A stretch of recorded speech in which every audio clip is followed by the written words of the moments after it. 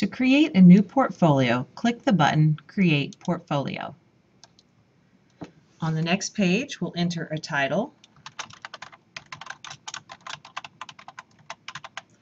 You can enter a description if you wish. You'll want to make it available. This doesn't mean that it's available without permissions, but it does allow you to make it available with permissions. It's still inside of Blackboard. It's still private to the user until the user decides to share it, but then it will be available when the user gives those permissions. And this allows you to keep any comments that are made to the portfolio private to other viewers. Go ahead and click Submit. And let's start building our first page. You have the option here to create a header. A header will show on every single page of the portfolio. So if you want that across the top of a portfolio, you can do that.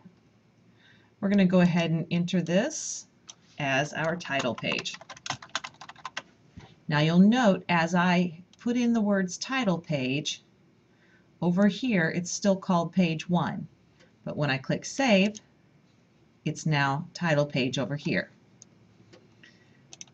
Section 1, I'm going to put um, welcome. And down in the bottom, welcome to my homepage. And then we can select an image. You'll notice that this tool right here allows us to insert or edit an image. I'm going to browse my computer and I'm going to take a picture off of my thumb drive. Then I have the ability to control the size of pictures by clicking on Appearance. I can control the size of my images by setting the width and if I want a small image, I can make that in the low 2 to 300 range. If I want a medium size image, I can go like 4 to 600. And if I want a larger sized image, I can do 700 to 900, maybe a 1,000. But uh, just depends on what I'm working with. So I'm going to make this one a small image.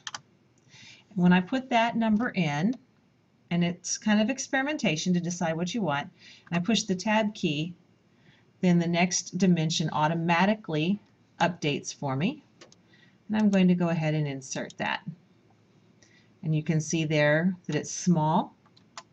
I can try inserting it again and making a larger one. Bring up the file.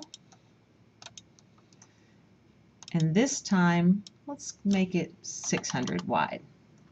Press Tab to update the next numbers and insert and you'll be able to see that the second image that's been inserted is larger. So I'm going to go ahead and save this and watch when I save over here this title will update to welcome. All right. If I want to see what that looks like before I leave I need to click done editing or I can click preview and customize Either one of them will allow me to view. If I click Done Editing, I go back to here with all of my portfolios. I look for my sample portfolio and I can click View and it will launch what I've created so far.